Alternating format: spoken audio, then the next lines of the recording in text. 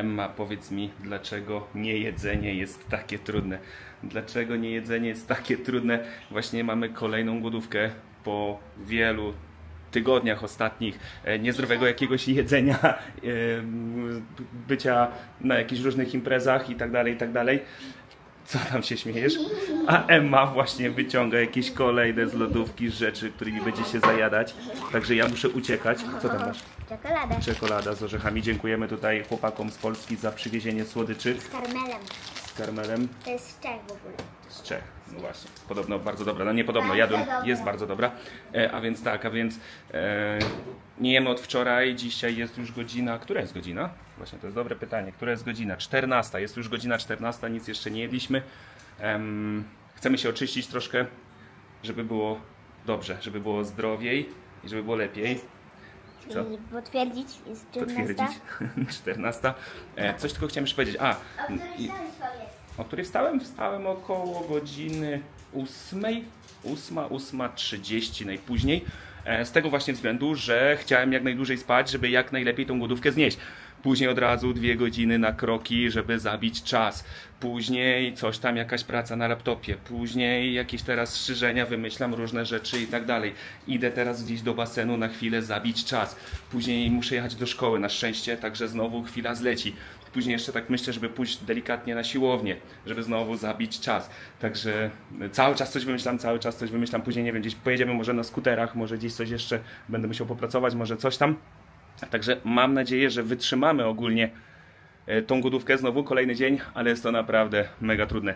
Dajcie znać w komentarzach, czy wy takie głodówki około 40 godzin sobie czasami robicie i jak je znosicie. Jeśli łatwo, no to super, gratulacje. Nam, nam to przechodzi bardzo trudno. Patrzcie na to. Taka czekolada. Ja cię. A ja tylko mogę o niej pomarzyć. Dobra, więc tak. Przed nami basen. Idziemy na basen popływać, poćwiczyć troszkę. Smażący się boczek. Boczek? Czemu boczek? To twoja mama. Siema. A później robimy kolejne rzeczy, które mamy w planach. A więc tak, byliśmy załatwić sprawę w naszej szkole i nigdy jeszcze nie poszło tak sprawnie jak dzisiaj. Tak jak widzicie, Siam Success Language School. Będziemy się tutaj uczyć angielskiego. Właśnie załatwiają nam wizę roczną, e, żeby móc się po prostu tutaj uczyć. E, No i jesteśmy już na końcowym etapie, bo już wszystkie papiery są w urzędzie imigracyjnym i tak dalej, tak dalej. To już trwa dosłownie miesiące, to już trwa dosłownie miesiące. E, Przez to też, że byliśmy na Phuket raz, później byliśmy na Phuket drugi raz i tak dalej. A też dodatkowo mam wrażenie, że ta szkoła istnieje jakby od, od niedawna i jeszcze mają słabe znajomości w urzędzie imigracyjnym. E, Słabo się jeszcze znają chyba na przepisach i to wszystko e, po prostu powoduje to, że wszystko się przedłuża, ale dzisiaj Po poszło. No, Nie mają jeszcze pleców. tak, nie mają pleców w urzędzie imigracyjnym, wszystko muszą załatwiać tak jak Przepisy każą. przepisy każą, zamiast iść, dać malutki tak jak to w Tajlandii potrafi być e, i, i po prostu mieć wszystko załatwione tak o, na pstryknięcie palca. No, ale jest ok. No, dzisiaj poszło po prostu bardzo sprawnie. Dzisiaj zostawiliśmy tylko paszporty i za około dwa tygodnie mają do nas wrócić już z wizą i wtedy zaczniemy naukę w tej szkole. Także taka ciekawostka, no mam nadzieję... Teraz tak patrzę, jaka długa jest ta ulica, to jest chyba dopiero połowa nie? No, ta ulica jest bardzo długa, bardzo, bardzo długa. To jest Teprasit Road? Chyba Teprasit Road. Teprasit Road. E, ciągnie się tam jeszcze, ciągnie i ciągnie i ciągnie. I tak samo jeszcze w tamtym kierunku też ciągnie się jeszcze i ciągnie i ciągnie. A my teraz będziemy jechać do galerii, bo mam pękniętą szybkę w telefonie i chcę sobie wymienić. I jestem ciekaw, czy, czy dotarły już do Polski takie szybki private, nie private, private, e, privacy, privacy, e, takie prywatne, gdzie nie widać z boku, jak ktoś patrzy na nasz telefon, to nie widać nic, co na tym telefonie się wyświetla. Proszę? Private glass się. Private glass. czy właśnie privacy? Ja już sam nie pamiętam. Private glass. No ja właśnie ostatnio widziałem private glass, ona powiedziała privacy i to jakoś tak, a nie wiem, no mniej więcej jakoś tak się to nazywa. W każdym razie no, chodzi o to, żeby, nie, żeby ktoś nam nie podglądywał to, co robimy na telefonie. E, Jak na początku byłem taki trochę sceptycznie do tego nastawiony, bo sam słabiej widzę, co się dzieje na moim telefonie. e, i dlatego za bardzo tego nie chciałem, ale gdzieś jednak się już do tego przyzwyczaiłem i jakoś do tej zwykłej już bym nie chciał wrócić. Ale że jak kiedyś przechodziłem przez barierkę na nasz basen, to ścisnąłem telefon do barierki i pękła mi ta szybka. I już mam tak długi czas i coraz bardziej jest pęknięta, coraz bardziej, coraz bardziej, więc jedziemy do galerii. Wymień szybkę. Dorota sprawdza jeszcze tylko. O, patrzcie się, widzicie? Dorota też ma taką szybkę i nic nie widzicie, co tam na tym telefonie się wyświetla z boku, ale jak się patrzy tak z przodu, to wszystko widać. Czekajcie, bo tylko sprawdzamy jeszcze, ile jesteśmy już na naszej głodówce tym razem. Okej, 21,5. 21,5 godziny.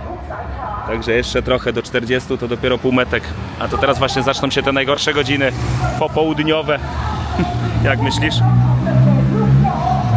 Tak, damy radę. Tak, damy radę. Widziałem lepsze miejsca w Tajlandii. Dobra, okej. Ktoś się tam drze. Jakieś warzywa sprzedają. Duży ruch.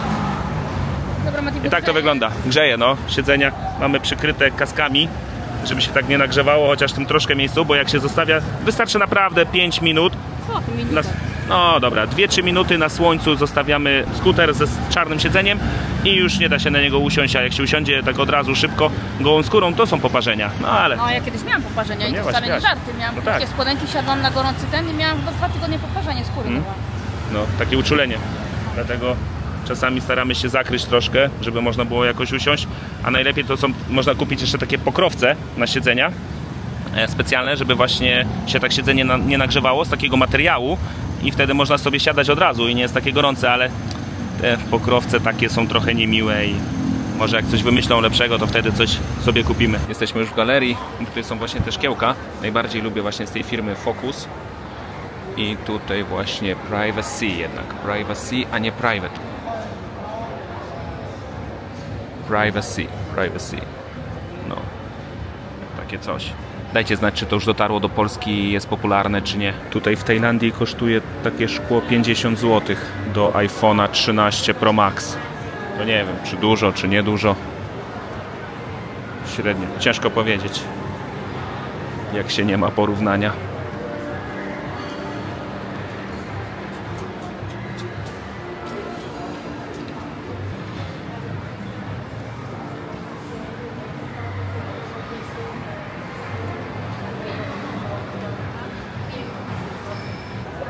No i to się nazywa Ford. Ford Everest, ale nie wiem właśnie, czy na Polskę są w ogóle takie produkowane i dostępne gdzieś w Europie, czy tylko tutaj w Azji i ewentualnie gdzieś w Ameryce. No ale taka fura, że naprawdę mega, niesamowita. Jak tam? Bierzemy? Ale jest potwór.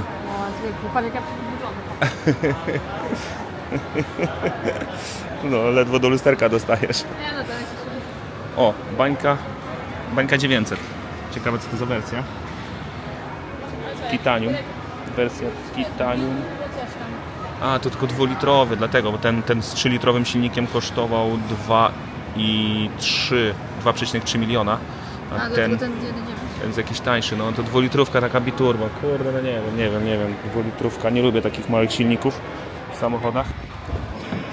A tutaj co? Tu jest ten drugi. Ranger. Czekaj, już idę. Tu jest taki sam, tylko z paką. Dora się już ładowała. Co? Dałabym radę. Dałabyś radę? Widzisz cośkolwiek? I tak mam niskie No no właśnie. ale nie, tu nawet tak widać. Spoko jest. On jest duży, ale takie... Jak siadł, to teraz ktoś pewnie w tym momencie. Tak? Zaraz. nie lubię małych. Ja bym chętnie zaraz wsiadł do tego drugiego jeszcze. To tam jakiś pan. No wiem właśnie, ale już chyba wyszedł. Ford Everest. Kurde, 2 miliony to jest jakieś 220-230 tysięcy złotych za nową sztukę takiego Jeepa. Wow. Ale patrz jaki golas, on nawet nie ma przyciemnionych szyb. Ja cię. No, to bez... No, ale właśnie bez sensu kupić takie auto z dwulitrowym silnikiem. Z dwulitrowym silnikiem, bez przyciemnionych szyb i coś tam, zaraz będzie bez tego, bez tamtego, bez więcej poprzednim pick-upie? Taki mały się wydaje, krótki, ja widzę to w lusterku. to- Aha, Znaczy mały, no duży, tylko że... czekaj, muszę sobie usiąść, zobaczyć. I takie tutaj skórki, jakieś coś tam. No, ciekawe czy ja Ale to może trochę... też na wystawie on nie ma tych ciemnych szyb, dlatego. Może, nie wiem. Tak śmiesznie z tej prawej strony trochę jest. Ktoś mi tam się ładował na tyły, tak? Co? No, no. Oglądają sobie.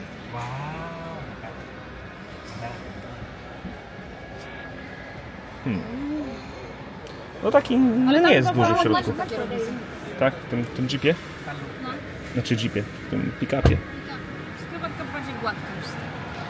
No taki Ford. Gównowort.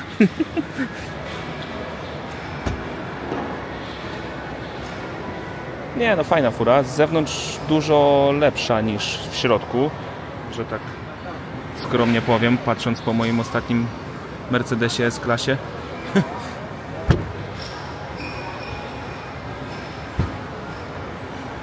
I co? Jak mi się? Lepiej? Muszę usiąść koniecznie. Czemu się tutaj lepiej siedzi? Muszę to zobaczyć. A, tutaj jest trochę inaczej fotel ustawiony. Niżej. Tylko milion trzysta. Ten tylko bańkę czysta? No To Też jest dwa litry. 150 150 tysięcy złotych, co takiego. Wygląda podobnie w środku. Ale ten taki ładniejszy. Ładniejszy? No tu ma taki ten zamsz, nie? Tam taką Aha. skórę, tylko ten. No, no, no, no. no. Jakiś... Ale to nie jest i tak jeszcze ten, którym ja, który ja bym chciał ogólnie. Ale ten i tak jest wystarczający. No, no ten jest taki kurde jeszcze większy, no ten tu już jest taki duży, duży pick-up.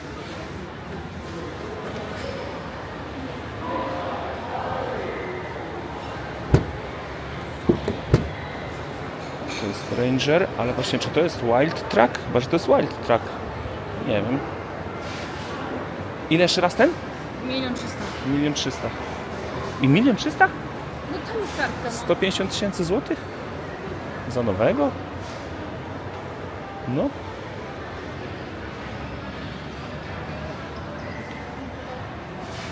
Też dwulitrówka biturbo. Hmm.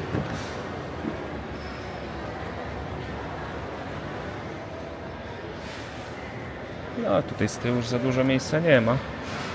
Ale tamten fotel jest wyjątkowo odsunięty. Tylko nie z takimi oponami terenowymi. O, lekki protektor, ja pierdzielę, chyba grubszy od mojego palca. Masakra.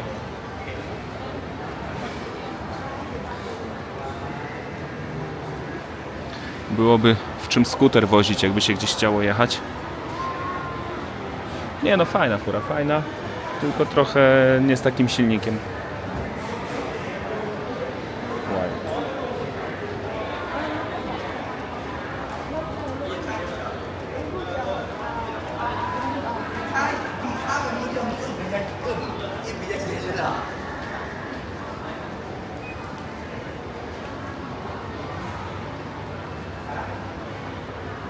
Ciekawe o ile cena by wzrosła, gdyby się chciało takiej konfiguracji właśnie jakiej by się chciało indywidualnej. Pewnie drugie tyle. Co? Który? Czy taką Toyotę? Patrz, taka Toyota ile? Co 4,5 miliona? Wow. Takich w Europie też nie ma Toyot. Toyot, a nie Toyot. Alphard.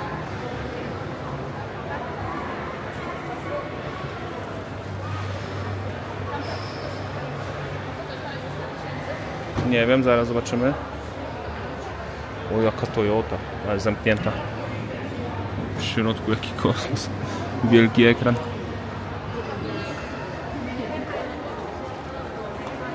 No, 4,5 miliona to już kupę siana.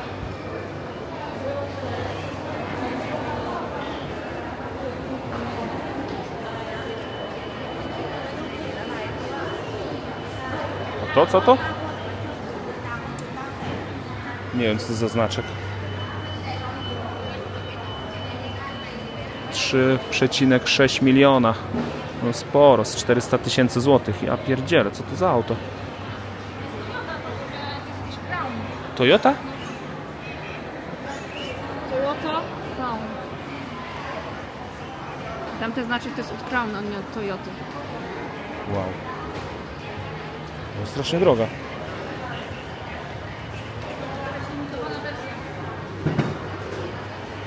O, koła ma ogromne, jak na takie małe auto. 21 cali. Ło. Rzucają się w oczy. Jaka Toyota? Nie widziałem jeszcze takiej Toyoty. Ale 400 tysięcy złotych? Weź. Można mieć-. Można mieć takiego, taką S-klasę, że o Jezus. Za 400 tysięcy złotych. O Jezu, jaka by to była zarąbista S-klasa. Nie no, to tymczasem pozostaje nam taki, taki, taki Ranger. Tutaj na zewnątrz, przed wejściem do galerii, już ekipa cała się ustawiła, jeśli chodzi o food trucki i street food jakiś. I tak codziennie. Jest w czym przebierać, a na końcu mamy aligatory. Ale jeszcze grill się nie pali. Jeszcze troszkę za wcześnie. Dopiero za 25, o już się rozpala. Także o 5 pewnie tutaj startują z wszystkim tak na dobre. Najlepsza galeria w Pattaji. Central Pattaya. Pełna nazwa Central Festival Pattaya. O Jezu, gdzie ta kamera kręci? Niebo. Niebo kręci.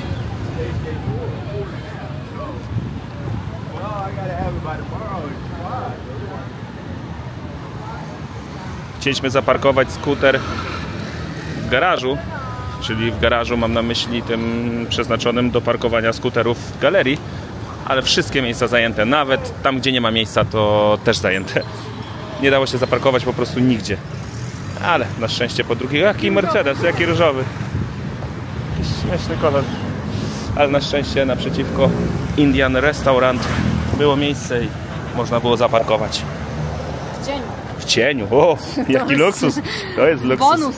Bonus, bo tutaj obok już świeci słońce, a my stoimy w cieniu.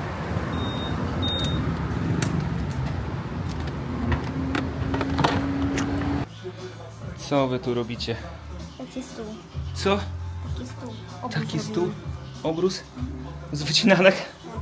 Co za pomysł. Oh my god. To robiłam na pewno ja. To nie wiem, dobra, nie wiem już kto co robił. Podsumowując, mamy 25 godzin na głodówce, jest już godzina 19, więc raczej na 99% wytrzymamy. Eee, na 99,9. Ja właśnie jeszcze teraz wróciłem z siłowni, także wszystko jest ok. I jutro będzie jakieś konkretne śniadanie. Na pewno. Na pewno? Centrujemy na śniadanie. Wszystko, co mam w lodówce. Jajka, bekon, ser, grzyby, wszystko. Wszystko. Wszystko. Lodówkę mamy w ogóle też tak wypchaną, że aż za dużo, no ale zjemy. Zjemy czy nie zjemy? Zjemy, trzymaj. Dobra, to na razie. Pozdrawiamy, zachęcamy do subskrypcji i do zobaczenia w kolejnym vlogu. Na razie, hej.